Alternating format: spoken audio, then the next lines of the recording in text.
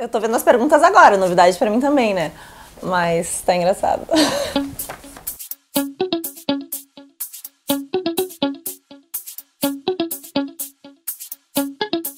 Oi, turma! Hoje a gente vai gravar o primeiro episódio do Karine Responde. Esse é o primeiro de muitos, então vocês têm que continuar mandando perguntas e todas as dúvidas que eu puder eu vou tirar de vocês aqui. Não esqueçam de se inscreverem lá no, no meu YouTube, é youtube.com barra DJ Karine Larré, porque daí vocês são notificados tudo de novo que acontecer. Inclusive o Karine Responde. Sobre as perguntas, vocês já podem colocar aqui nos comentários desse vídeo o que vocês acharam e as próximas perguntas para minha equipe selecionar.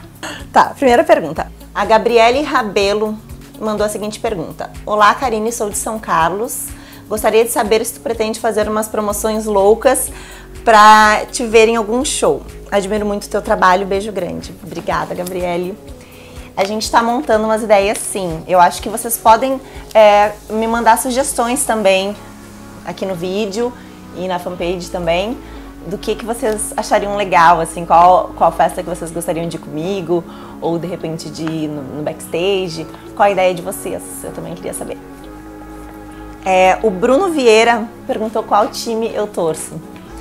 Gente, eu sou colorada. Sempre fui, sem você. Uma coisa de família. A minha família é muito maluca pelo internacional. E, e sempre que tinha jogos na Cidade Baixa, que é onde eu nasci, aqui no Rio Grande do Sul, Uh, eles faziam uma passeata, né? Saía toda a família fardada de vermelho e, e, a gente fazia passeata nas ruas da Cidade Baixa. Jennifer Mendes.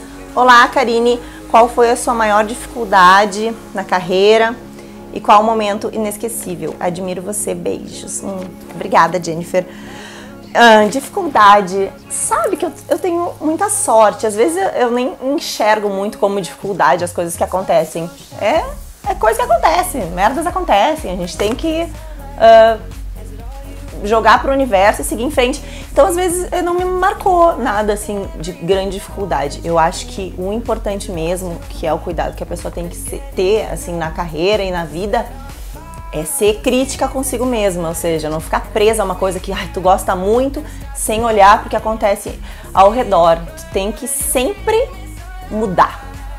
Essa é a dificuldade do ser humano. É muito preso às coisas que acredita e, e às vezes não consegue mudar. E eu tô sempre mudando. Então, de repente, o que eu falar hoje já não é o que eu vou falar amanhã. O que eu gosto de ouvir hoje pode ser o que eu não vá gostar de ouvir amanhã. Então, acho que a dificuldade é sempre essa, tá sempre mudando, sempre se adaptando. Vanessa Trish, ah, é, minha querida. Oi, sua linda, responde aí qual a sua expectativa em relação à carreira internacional sabe que te amo e não é de hoje. Nós amamos, né, Vanessa? Tá sempre muito presente na minha vida, nas minhas redes sociais e eu não esqueço teu nome, não. Esqueço de muitas coisas. Um... Ai, sei se eu criei uma expectativa. É, eu sou muito positiva, é, tenho sorte, como eu falei, sou muito bem recebida em todos os lugares que eu vou.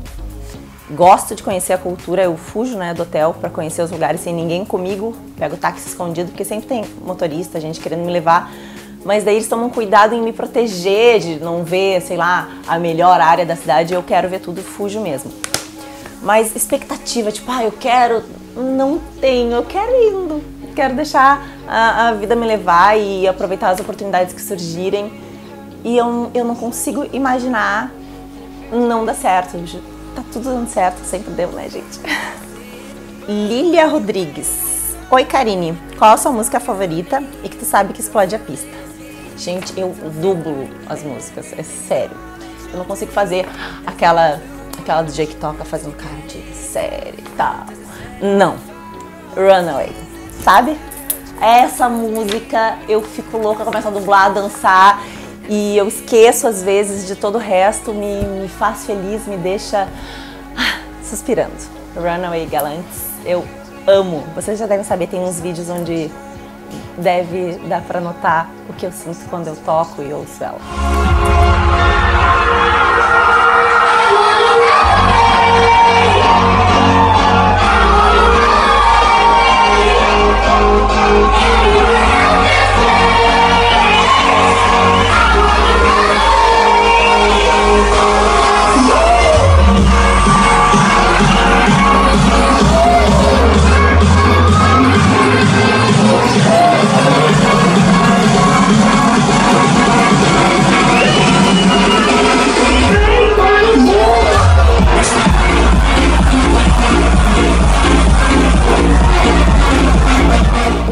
Cruz me perguntando aqui.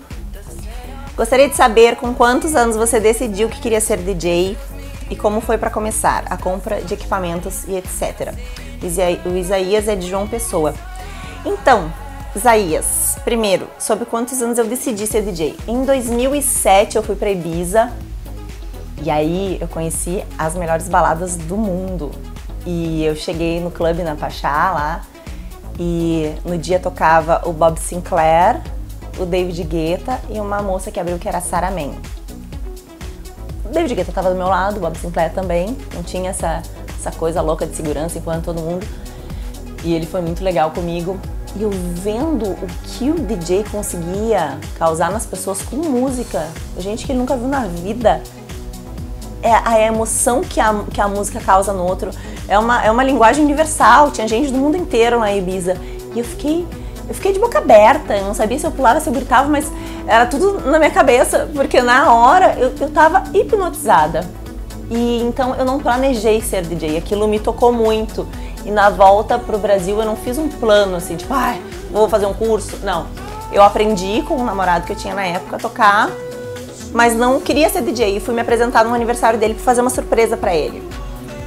E aí as pessoas começaram a me perguntar cachê e no outro mês eu já estava tocando, já tinha 10 datas. Como eu disse, eu tenho bastante sorte. E, ah, e sobre uh, começo, esse negócio de compra de equipamento, muita gente me pergunta isso. Gente, hum, esquece esse negócio de comprar equipamento. Nunca para começar, não existe essa desculpa na vida. Ai, eu não comecei porque eu não tenho equipamento muito caro. Esquece ou você vai e loca um equipamento, ou vai procurar um curso na tua cidade, ou conversa com um DJ que de repente tem disponibilidade para te ensinar. Não compra equipamento. É, é, é, eu acho que é o, o, primeiro erro que tu pode começar, cometer é achar que precisa comprar um equipamento para começar. Não precisa, não comprei. Então, Karine, responde essa pra gente. Todos nós temos um ritmo. E qual o seu? Cite uma música que você gosta muito. O ritmo acelerado. Ou eu acordo perturbando as pessoas. Perturbando de, de eu deixar tonta as pessoas. É verdade, eu sou assim o tempo todo. Mas, musicalmente falando, eu sou meio doida. Porque eu sou bem eclética e eu tento falar isso muito para as pessoas. De não terem preconceito com música. De saber se remexer com o que estiver rolando, entendeu? Então, às vezes, eu tô dirigindo e eu gosto de ouvir Kid Abelha para cantar, ficar dublando Britney. Pode ser. Gosto muito de tech house de ouvir no meu carro também, mas eu amo os EDMs que eu toco. Entende? Eu acho que a música tem a ver com o momento. Então cada momento pede uma música e isso não quer dizer. Não, não pode não ter relação nenhuma com o ambiente que tu tá. É uma coisa interna, né? E eu, graças a Deus, aceito muito bem todo tipo de cultura musical. É, a música, como eu já falei, gosto muito de Runaway. É, aquele vocal feminino, cantar, adoro. Esse é meu jeito, gosto sim. Isabela Munhoz, qual a sua comida favorita? Fácil, sushi. Ah, sushi. Sushi de manhã, sushi da tarde, sushi. Sushi, eu como um e passo outro na cara, de tanto que eu amo. E quando você vai tocar numa balada teen em São Paulo? São Paulo chama eu. Chama eu, balada teen de São Paulo. Demorou, é só chamar que eu vou. Tô louca pra ir. Caitlyn. Caitlyn Gonzaga, qual o seu DJ uh, ah, que te inspirou, é, teve. O David Guetta com certeza. Tem, tem gente que não curte e tal, mas eu adoro ele e o que ele fez com a música eletrônica, né? Ele ter popularizado a música eletrônica e a vez que, eu, que a gente conversou em Ibiza, vocês não têm ideia o gentleman que ele foi. Ele foi querido, ele foi ele, comigo e com meu namorado. Vez, é, porque é mulher. Aqui, ó, pra nós dois, pulseirinha de backstage, fica aqui, segurança tirando todo mundo, ele, puxando a gente pra gente ficar ali na hora que ele ia começar a tocar. Então, ele para mim é inspirador, porque ele recebeu muita crítica, ele já entregou CDzinho nas ruas de Ibiza e o pessoal ignorava ele, ele era francês, né, não era de lá e tal. Então ele é inspirador para mim pela personalidade, pelo que ele fez com a música e porque pessoalmente me tratou muito bem, muito mais do que eu esperava. Johnny Pinheiro, olá! Você sonhava com todo esse sucesso ou aconteceu? gente, tá acontecendo, né? Não sonhava não. Tem lugares, por exemplo, eu lembro a primeira vez que eu fui no Green Valley, tá? Eu fui assistir o Fatboy Slim e eu tava lá embaixo e eu, eu lembro que eu falei pra um amigo meu, tava eu falei, gente, meu lugar era lá, a próxima vez que eu vier aqui, eu vou tocar aqui. E eu toquei lá, esse dia foi muito importante pra mim, a primeira vez que eu toquei no Green Valley. ah, aquele frio na barriga, toda. Era né, o clube número um do mundo. E, e a outra vez que eu voltei lá foi pra tocar, lá no meu lugar. Tete Pereira. Tete Pereira. Olá, sou do Rio de Janeiro. Você já cantava.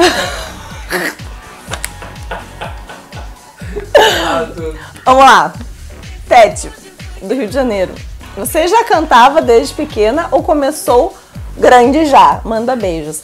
Olha, eu não canto, né? Na verdade, sim. Não canto, nunca cantei, mas tudo bem. Tete, eu toco, tá ligado? DJ. Cantar não é meu talento, não. Danley Araújo, manda beijo pra mim. Beijo, Danley. Espero que não tenha namorado que ela não fique brava comigo, mas beijo. É nóis.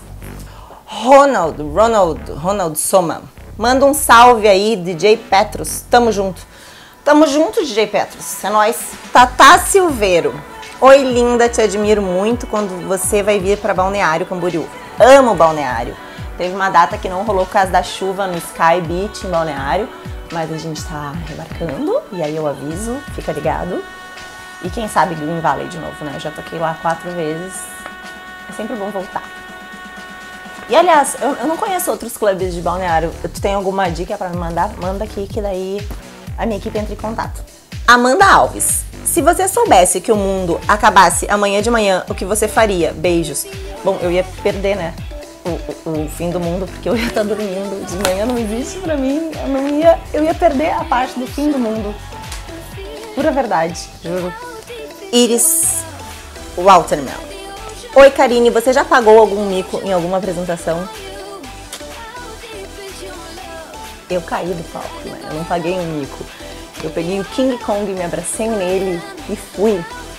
Estava eu aqui, tan, dan, dan, dan, dan, dan, dan, dan, dan, DJ no chão. Caí, escorreguei. Era uma festa das cores. Um, ah, eles vão passar o vídeo, eu tenho certeza.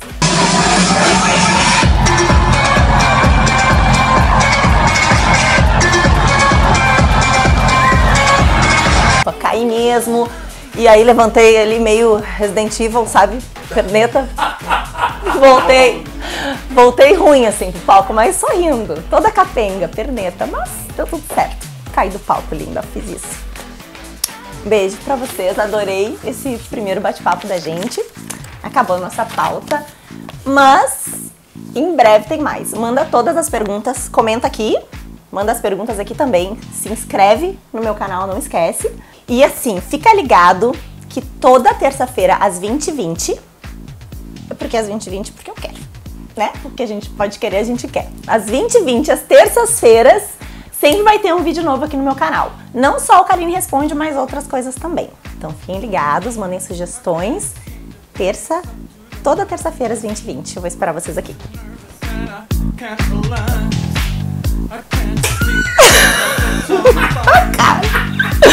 É realidade triste e comovente. O ar tá vazando só do Thiago. Não enxergo, né? Chegar, tô ficando descabelada e não vai mais gostar. Parei.